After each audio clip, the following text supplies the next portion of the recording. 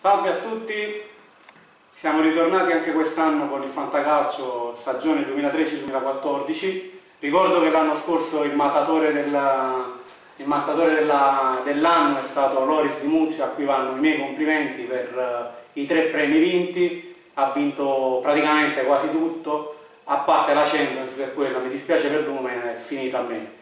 Eh, in virtù di ciò eh, voglio ricordarvi anche quali sono le novità regolamentari di quest'anno. Eh, in primis fate attenzione all'introduzione del modificatore di difesa, quindi vi invito a leggere il regolamento. Sono stati introdotti nuovi criteri per assegnare il premio per uh, il miglior punteggio di giornata, in modo da evitare che ci siano degli ex equo. È stata introdotta una eh, nuovi criteri per uh, stabilire eventualmente gli scambi fasulli o quelli che perlomeno sono dubbi, con una commissione che deciderà eventualmente uh, il, se gli scambi diciamo, segnalati sono effettivamente validi oppure se hanno bisogno di, in qualche modo di essere penalizzati. In tal senso vi ricordo che questo è un gioco e che quindi lo spirito deve essere fondamentalmente fondato sul divertimento, sullo sfottò di tutte le settimane. Eh, detto ciò passiamo eh, ah, un'altra cosa importante per quanto riguarda il uh, discorso del regolamento è che da quest'anno c'è uh, lo scarto soglia gol, ovvero vuol dire che nonostante ci siano le soglie gol che sono sempre le stesse, quindi 66 il primo gol, 72, 74, 78, 84 e così via, eh, se due squadre si dovessero trovare all'interno della stessa soglia gol, ma una supera, de, eh, supera l'altra di 4 punti, la squadra che ha superato l'altra di 4 punti riceve un gol bonus.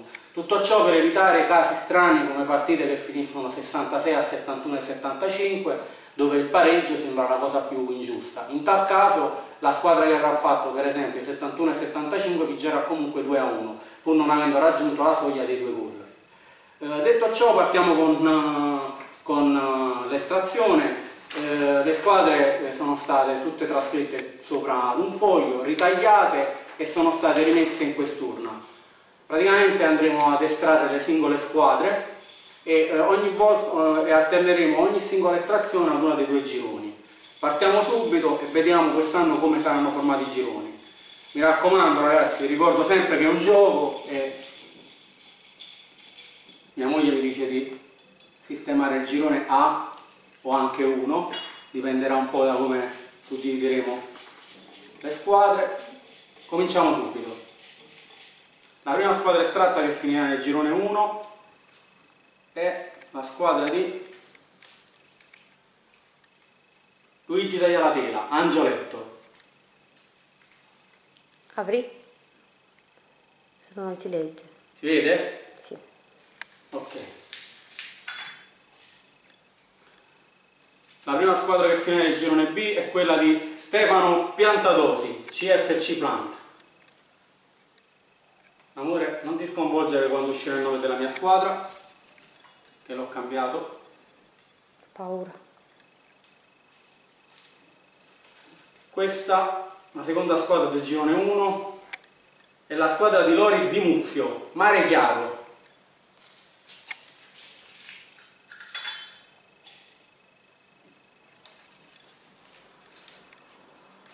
La squadra di Gaetano Ciccarelli finisce insieme a CFC Plant, sangue azzurro. Diamo un'altra mischiata. La squadra di Giovanni Orefice va nel girone A, numero 1, insieme a Luigi della Vera e Lori Di Muzio.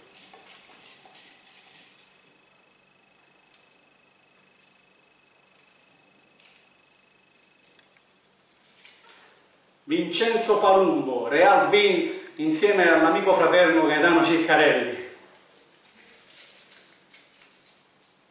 E eh, questo è un girone di ferro già, eh?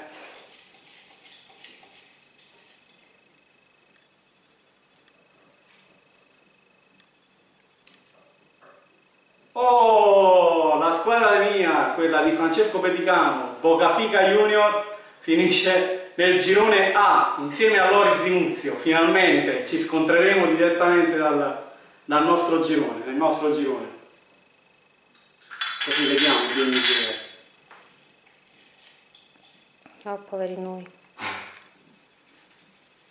Ma che caspita di nome hai messo? Dios, Luigi Sebastianelli, girone 2, girone B, Ah, questa è la squadra che è il nome che mi piace. Anche l'anno scorso lei dicesse. Hai visto? Pampa sotto, Luigi Sebastianelli Allora, Sceglie sempre sempre mio nome, infatti.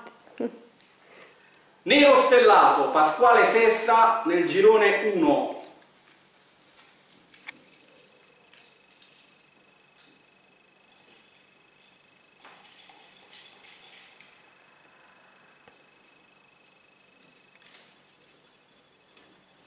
Salvatore Gioiello, 11 leoni nel girone 2. Ah, è capitato Che con girone! Vincenzo, Sebastianelli, Gaetano, Gaetano, Seba- Stefano, Sebastianelli e Salvatore. Eh, Eh, è un bel girone questo, eh.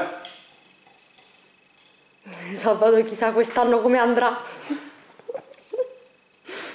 Giuseppe Guidotti, Napoli Mania, un'altra, un altro grande giocatore fa fantacalcio da anni, questa volta capita nel girone 1, Ah, capito con capita con te, me, con con, Loris, con Loris. Pasquale Sessa, Eh, pure di qua non è malvagio, eh? eh sì. Luca Di Tommaso, Chieti Azzurra nel girone 2. Aspetta, non ti muovere. Ok. Eh, Ancora non sono uscite le new Ma proprio gli ultimi. Quattro squadre sono, sì. Ok. Ci troviamo nei conti. meno male.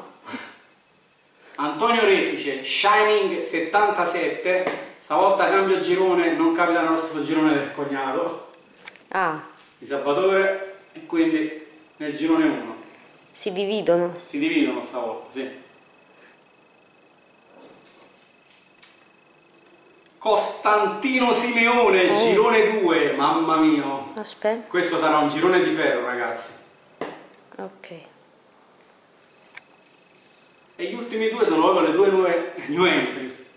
Vediamo come. come A si questo panarillo. Vediamo un po'. Chi è? Fabrizio Fiorillo, Drunk Team, No, finisce no. nel girone 1.